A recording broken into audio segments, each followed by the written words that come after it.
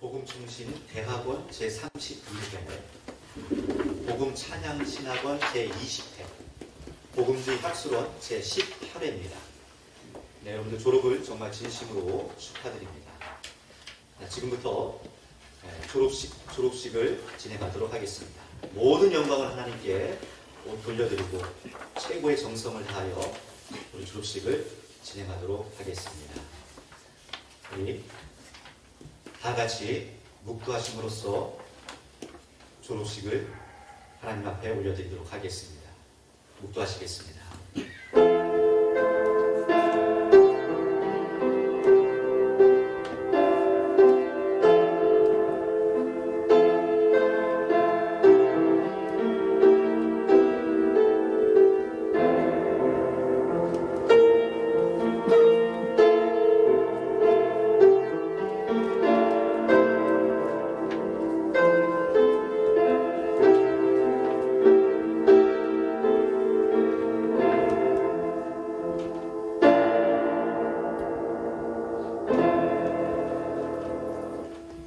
하나님은 우리의 피난처시요 힘이신 환란 중에 만난 큰 도움이시라.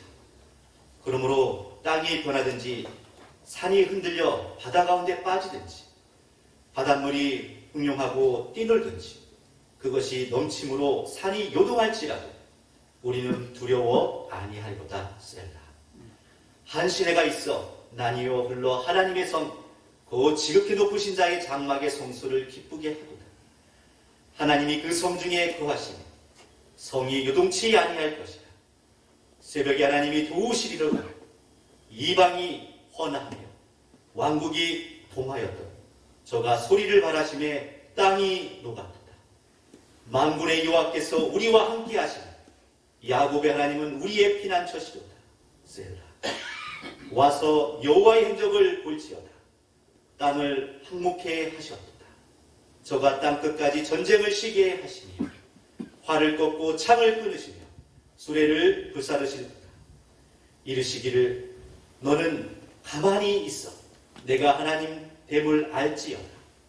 내가 열방과 세계 중에서 높임을 받으리라 하시도다.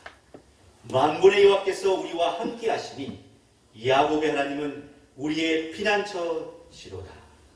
셀라. 아멘. 아멘. 고마우 신 사랑의 아버지 하나님 감사합니다. 아버지 모든 순서는 뭐 순서마다 하나님 함께 해 주시고 영광 받아 주시옵소서. 아멘. 예수님의 이름으로 감사하며 기도 올립니다. 아멘. 네.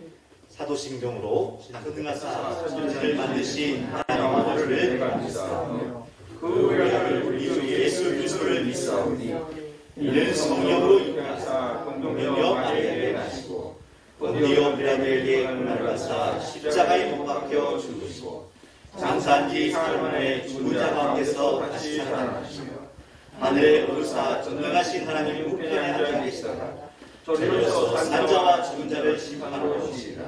성령을 믿사오며 거룩한 공교와 성도가 서로 교통하는 것과 죄를 사하여 주신 것과 오늘 다시 사는 것과 영원히 사는 것을 믿사옵나이다. 아멘